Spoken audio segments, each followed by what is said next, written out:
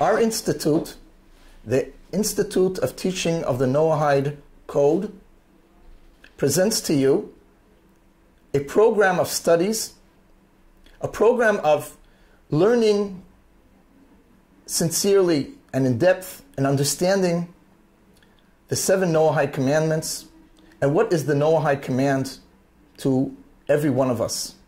Our program presents two possibilities. The first possibility is to register to classes online, a weekly class that is open and will be presented by rabbis of the Institute that teach the seven Noahide commandments and all that is included in their teachings.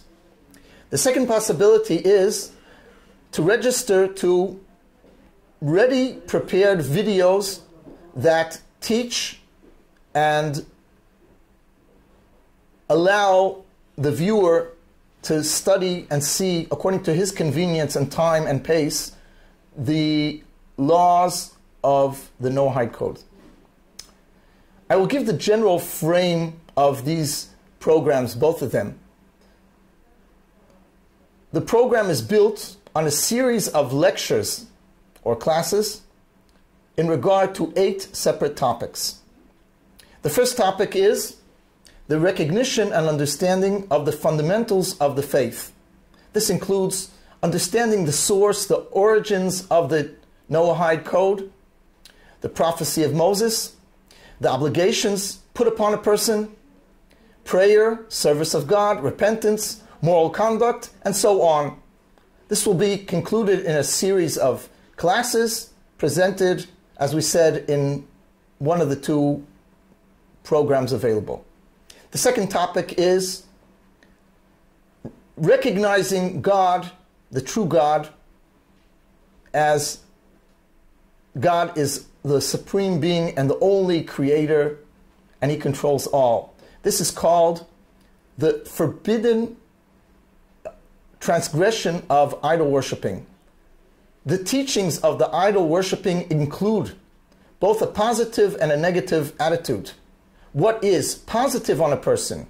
That he must connect himself to God and believing in God. In what does it, what does that include? And the negative attitude is what is forbidden to man as idol worship and anything connected to idol worshiping. This all these ideas will be collected and given in the second topic. The third topic is blasphemy, which means the importance of honoring God both in speech and in activity, and that that we are forbidden to speak wrong about God as cursing and so on. The fourth topic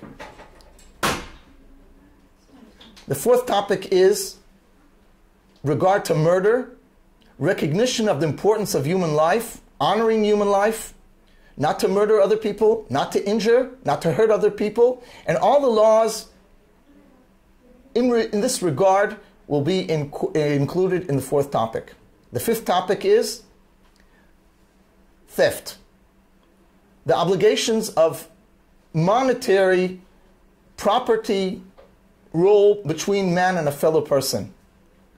What we are obligated to our fellows and what we are forbidden to take their money without permission and so on.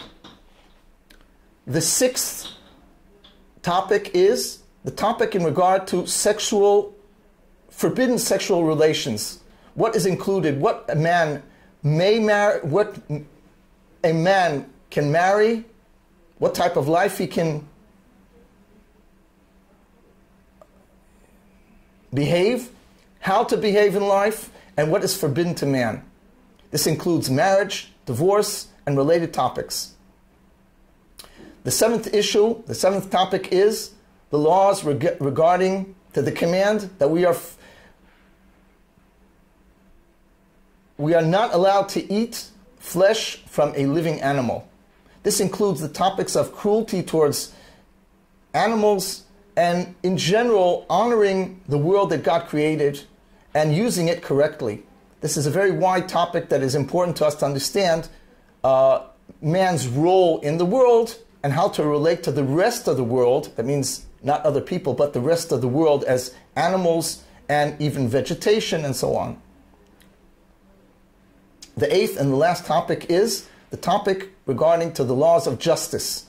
Establishing justice, making courts that will rule just laws, establishing the laws that are appropriate to each country and each people, upholding them, and obviously punishing those that go against the laws. All this is included in the topic of justice and many other ideas and laws related to social justice that uh, this is the eighth and last Noahide command.